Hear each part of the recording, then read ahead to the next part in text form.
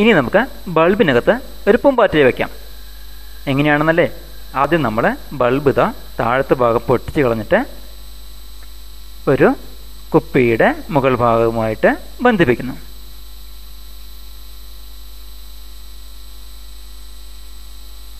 അത് നമ്മൾ ഉണക്കാൻ വയ്ക്കുന്നു പിന്നീട് നമ്മൾ അതിനെ കുപ്പിയുടെ അടപ്പ് തുറന്നിട്ട് ഒരു പ്ലാസ്റ്റിക്കിന്റെ പൂമ്പാറ്റയെ ഉണ്ടാക്കിയിട്ട് കണ്ടോ?